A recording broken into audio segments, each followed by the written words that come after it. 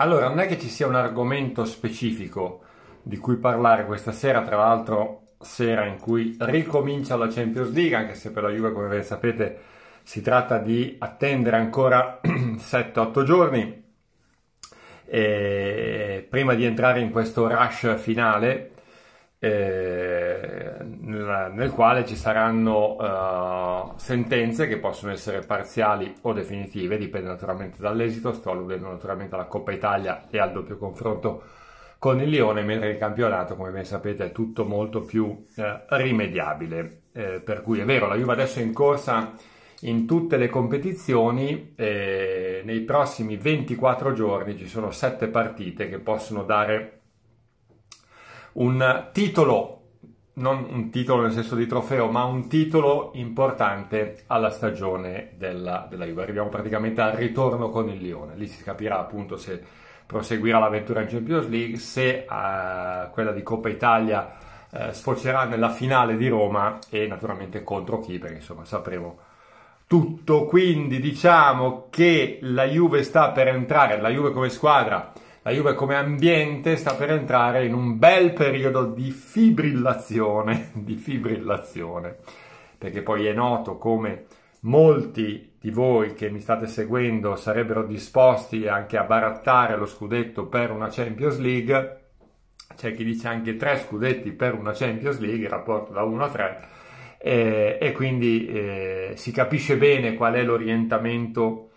eh, principale del, del, del, mondo bianco-nero, al di là di quelli che possono essere poi i progetti, i piani della società, ne abbiamo già parlato, la società, la società preferisce confrontarsi sul programma di lungo corso, che è quello del campionato, e considerare tutto il resto un di più molto legato a dei fattori episodici. Comunque sono discorsi che abbiamo fatto un sacco di volte. Ha parlato Alessandro Del Piero, lo trovate su OneFootball, eh, e ha parlato del, del tema più ricorrente in questo periodo, ossia eh, il modo di giocare della Juventus, quindi la panchina di Sarri, e, e insomma ha messo in evidenza quello che forse non abbiamo mai toccato effettivamente come aspetto di per sé, però è vero, è, la, la sua, è una verità abbastanza inoppugnabile, cioè c'è una contraddizione, per il gioco di Sarri ci vuole tempo, ma la Juve non dà tanto tempo a meno che non siano cambiati gli orientamenti, eh, è sempre stato così. Insomma, la Juventus è, conta vincere, è l'unica cosa che conta, o comunque la cosa più importante, e se non vinci ti passa in cavalleria, ma con un bel giramento di Maroni, ti passa in cavalleria magari il primo anno, sul secondo la cavalleria o conquista qualche cosa o se no la cavalleria ti travolge. E, ehm, e quindi c'è solamente da, da, aspettare, vedremo. Io credo che sia molto importante in questo periodo il rientro di Giorgio Chiellini, eh, verrà probabilmente organizzata, come ha detto Sari, un'amichevole per lui in settimana per aumentargli il minutaggio. Credo, credo di aver capito, eh, di aver intuito che eh, la partita a cui fa riferimento Chiellini per poter iniziare a giocare assieme ai suoi compagni, quindi dal fischio d'inizio e quindi riprendersi la fascia di capitano dall'inizio, sarà quella di Lione, eh, quella di Lione della la partita di andata praticamente tra eh, una settimana o poco più, insomma, lì, lì punta Giorgio Chiellini come lì punta Miralem Pjanic, anche se Vedremo, ma insomma i segnali sono molto confortanti, non è nemmeno da escludere totalmente la possibilità che sia già disponibile per, eh, per giocare uno spezzone di partita contro la SPAL, anche se ultimamente gli spezzoni di partita non gli hanno portato molto bene, eh, perché in sostanza lui era d'accordo praticamente di non giocare nemmeno, visto che c'era un leggero affaticamento, di non giocare nemmeno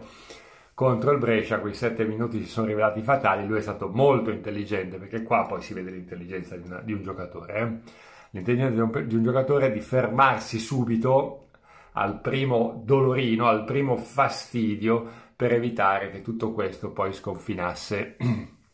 in ben altre e più gravi situazioni. Quindi è stato molto intelligente Pjanic, ma io credo che sia lui che a questo punto buone probabilità anche per Giorgio Chiellini di vedere che dire ragazzi, praticamente la Juve che ci si è persi per tutta la stagione, perché Chiellini ha giocato solo una partita, eh, segnando, eh, portando tre punti a questa classifica, eh, una delle poche partite in cui la Juventus non ha preso gol, tra l'altro, eh, e, e quindi c'è sicuramente a conti fatti da sottolineare che una delle ragioni, ma me l'avete fatto notare tante volte anche voi, una delle ragioni per le quali magari la Juventus è andata in difficoltà in fase difensiva, magari sulle palle inattive, eh, per esempio, è stata la mancanza di un giocatore di, di esperienza, eh, sono state dovute alla mancanza di un giocatore di esperienza come Giorgio Chiellini, che sicuramente eh, ha dovuto imparare o sta imparando anche lui un metodo diverso dal punto di vista difensivo sulle palle inattive, ossia la difesa a zona, ma ha comunque un'esperienza tale, un carisma tale da poter infondere a tutto il reparto quella sicurezza che eh, non si è vista in diverse circostanze eh, e tramutata, direi, non tanto in insicurezza, ma leggerezza di atteggiamento, perché io ricordo certi gol presi proprio per leggerezza di atteggiamento. E se non hai un allenatore anche in campo che ti fa un mazzo così, se ti vede leggermente o se coglie in te qualche atteggiamento di leggerezza, allora è difficile raddrizzare la baracca. Uno o più allenatori, eh, perché magari la forza congiunta di Chiellini e Bonucci, tanto per fare un esempio, può produrre risultati che magari uno solo non è in grado di, di ottenere da tutto il resto del gruppo. Eh, siamo, possiamo dirlo, alla vigilia di un punto di, di svolta di un punto di svolta di questa stagione, perché le, le prove d'appello finiranno, perché sono quelle situazioni paradossali, no? per cui tu sei dentro in tutto, eh, sei primo in campionato, inconfutabilmente, eh, dentro, hai la possibilità di giocarti la finale di, di, di Coppa Italia e, e, sei negli ottavi di, di, Champions, però nel giro di 24 giorni potrebbe esserci il rinnovo di tutta questa attesa, come potrebbe esserci la constatazione che uno o due obiettivi li hai dovuti abbandonare. E sono i deliri del calcio questi, i deliri del calcio che determinano poi i deliri di commento, i deliri di editori giornali, i deliri delle trasmissioni televisive, nell'uno o nell'altro senso. Quindi sostanzialmente, insomma, io penso che sia un periodo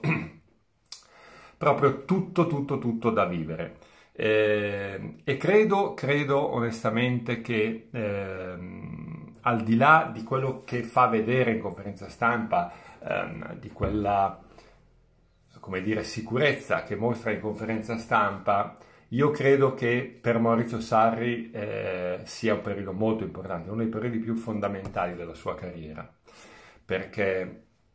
hai allenato il Napoli, ma al Napoli non avevi certe pressioni, hai allenato il Chelsea e forse qualche pressione in più magari ce l'avevi, hai portato a casa eh, un'Europa League, ma allenare la Juventus è una cosa totalmente diversa. Quindi io penso che anche lui si stia rendendo conto di trovarsi di fronte ad un bivio importante della sua carriera, anche se non stiamo certo parlando di un attore alle prime armi, non stiamo certo parlando di un attore giovane anagraficamente, ma credo conscio proprio di questa situazione. E anche per questo, adesso cerco di scavare un po', anche per questo credo che si stia rendendo conto che quantomeno per quest'anno, il primo anno, date le difficoltà oggettive di eh, modificare il modo di pensare calcio, come dice lui, in poco tempo, ecco che per quest'anno si stia rendendo conto che quel vincere è l'unica cosa che conta, è fondamentale. È fondamentale per dare poi l'incipit a quella che sarà la continuità del suo lavoro successivo. Quest'anno ha provato, fa fatica, sono ancora alcuni mesi a disposizione, però c'è poco tempo per lavorare. Cioè il tempo per lavorare c'era stato nella pausa tra la fine del girone di Champions e la ripresa. Adesso la, la, la, la Champions ricomincia, giochi ogni tre giorni, augurandoti ovviamente di giocare ogni tre giorni fino, fino, a praticamente fino a maggio, ma giocando ogni tre giorni lavori eh, ovviamente meno, hai meno possibilità. Quindi anche per questo credo che stia abbandonando eh, l'idea di modificare al 100% il modo di pensare calcio della Juventus e si vada a concentrare molto di più su quelli che sono i risultati pratici, perché poi sono questi che determinano i giudizi finali, le famose sentenze di campo, che vanno poi a proiettarsi su eventuali scelte e decisioni per il futuro. Spero di non avervi annoiato, notizie grosse non ce n'erano, la diatriba Pogba, Solskjaer, Minoraio la seguiremo ancora. Non ho nominato Guardiola, ma perché non ci sono aggiornamenti ai tabloid inglesi che dicono che, torna, che verrà ad allenare la Juventus e lui che dice che resterà lì. Si fanno atti di fede, o si crede all'una o si crede all'altra cosa. Ma tanto ne parleremo ancora. Alla prossima, ciao!